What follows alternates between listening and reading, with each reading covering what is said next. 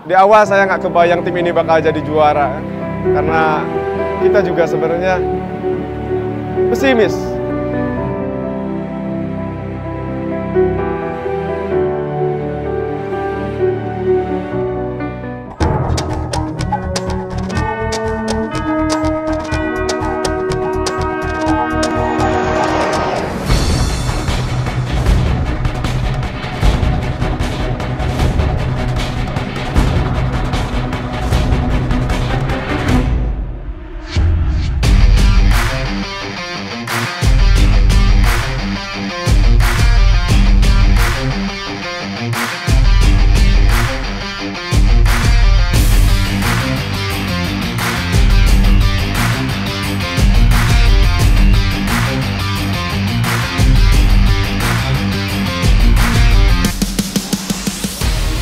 Untuk antusias peserta Liga Santri ini cukup uh, meriah karena dengan jumlah peserta dari tiap-tiap kabupaten sudah tercatat sampai saat ini 1511 dan untuk santri merupakan olahraga yang digemari di santri.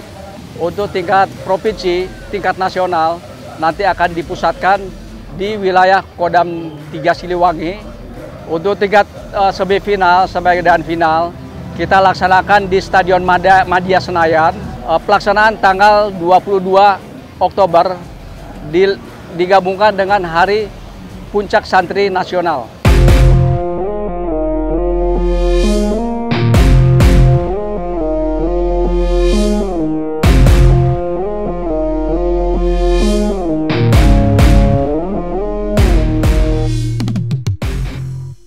Liga Santri ini adalah pure murni inisiatifnya Bapak Kasat. Kemudian uh, beliau menunjuk saya selaku ketua penyelenggara, dibantu oleh staf terkait termasuk Kadis Jasad dan jajaran. Esensi dari beliau adalah bahwa TNI Angkatan Darat ingin berkontribusi juga dalam pencarian bibit-bibit berbakat di bidang sepak bola. Karena sepak bola adalah olahraga yang sangat digemari dan sangat dicintai oleh rakyat. Dan sudah tidak diragukan lagi bahwa sumber atlet dari santri sepak bola sudah bisa ditunjukkan. Nah, beliau punya keinginan para santri juga yang dilibatkan dalam kompetisi ini bisa berkontribusi untuk kemajuan sepak bola nasional.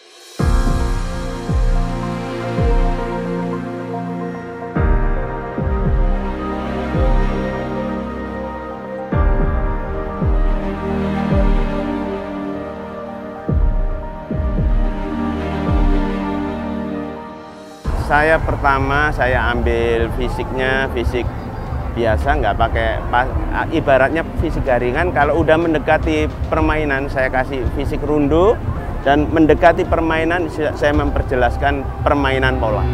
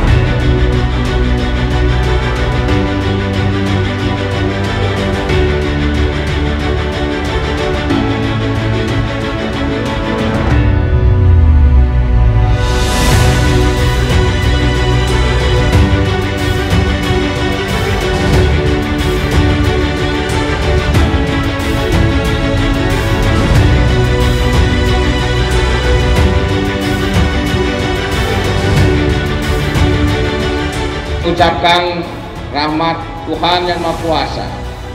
Maka final Piala Kasat Liga Santri segera dimulai.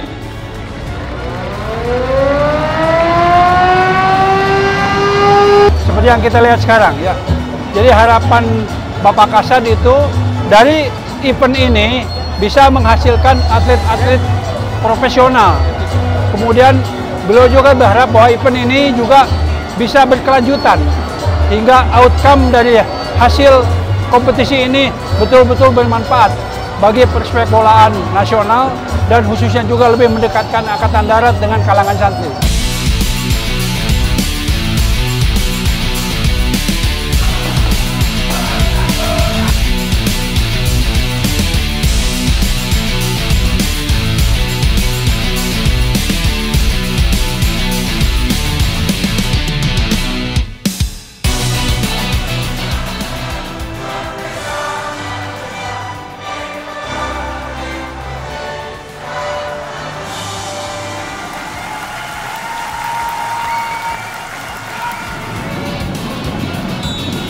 Iya, ini dia kick off babak pertama.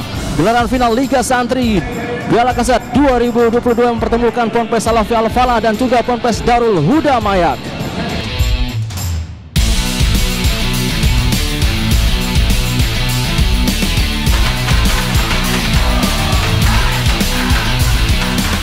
Eh, kita dukung karena kita dari Kota Bekasi, kita dukung Jawa Barat. Jawa Barat. Ya mudah-mudahan di tahun yang akan datang Liga Santri masih ada lagi dan tetap berjalan bersinergi antara TNI dengan pesantren dan mudah-mudahan harapannya dari generasi dari pesantren akan ada yang jadi TNI.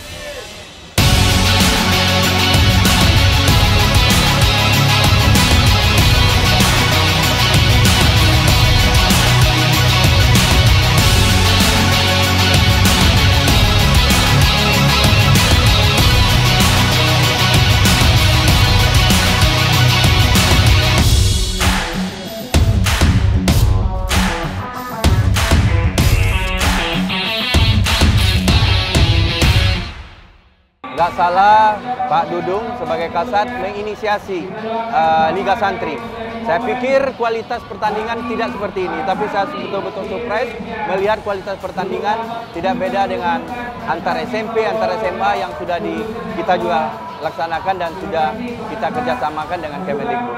PSSI uh, membentuk tim scouting dan dalam hal ini saya tadi sudah dilaporkan ada sekitar enam orang yang kualitas dan di pertandingan ini ada dua pemain yang masih kita lihat.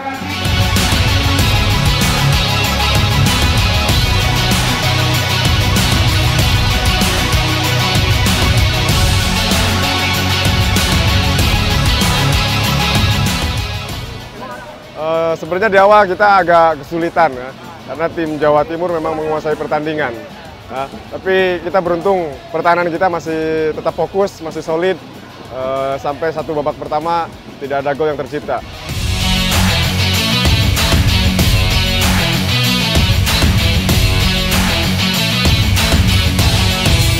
Dan bagaimana babak pertama ini berakhir dengan kedudukan sama kuat tanpa gol antara Salafi Al-Falah dan juga Darul Huda Mayak.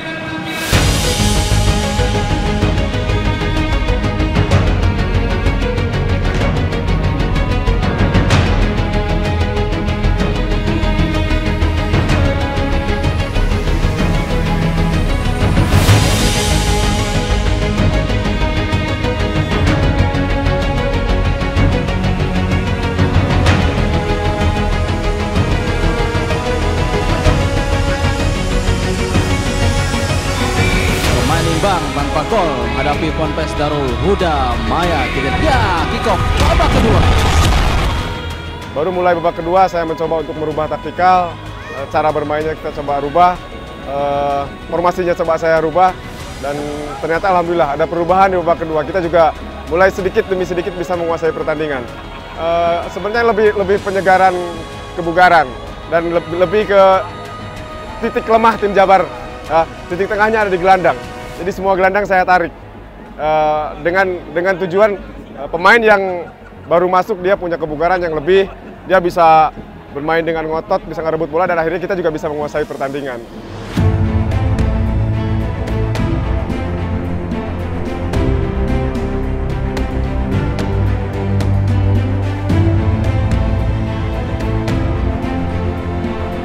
Rebutan bola ada Agung di sana. Denny kali ini switch play berpindah ke sisi sebelah kanan ada Haikal di sana. Baik sekali kita lihat Salafi Al-Falah. Ada Azril di sana. Terjatuh Azril di dan kita saksikan Denny. Oh, nyaris sekali Denny.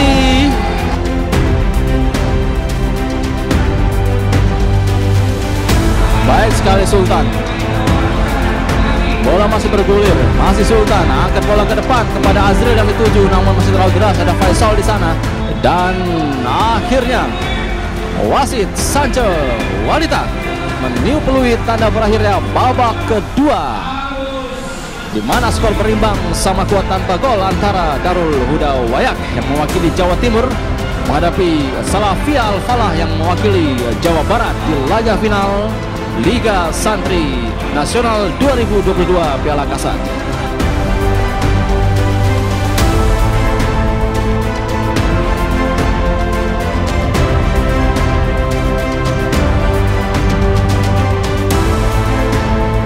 Kita saksikan Oh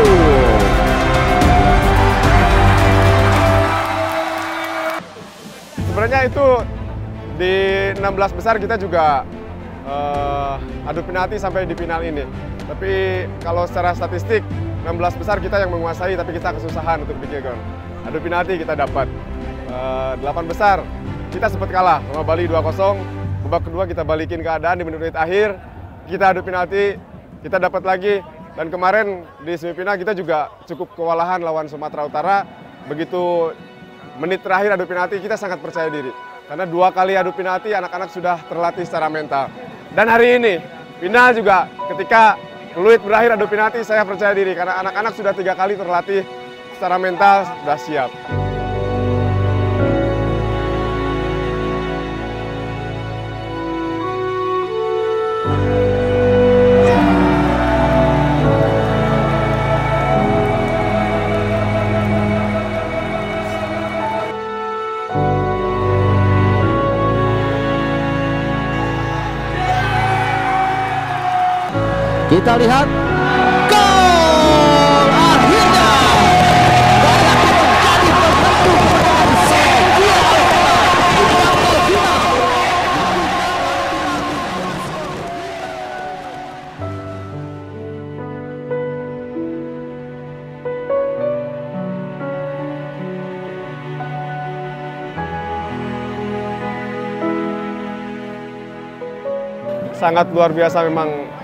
Eh, nggak bisa saya ceritakan seperti apa yang jelas eh, kalau saya tahu sejarah tim ini di awal eh, saya sangat sangat terharu sekali pak. Kita dengan keterbatasan di awal di awal kita nggak punya kostum mau bertanding kita nggak punya kostum kita lapangan juga seadanya bola juga cuma punya sedikit malah rompi juga nggak punya.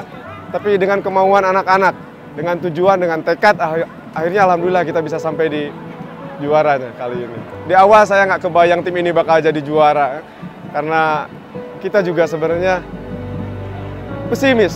Bisa sampai ke sini pesimis. Karena dengan keterbatasan tim setelah kita regional kita juara mulai dari ada bantuan dari unsur-unsur pemerintah camat kita masuk Jabar juara dibantu lagi sama Kodam Siliwangi dan akhirnya kita sekarang juga banyak dukungan dari unsur-unsur yang terkait di Jawa Barat. Dan alhamdulillah kita bisa membuktikan bahwa apa yang telah mereka kasih dan kita membuktikannya dengan hasil yang maksimal.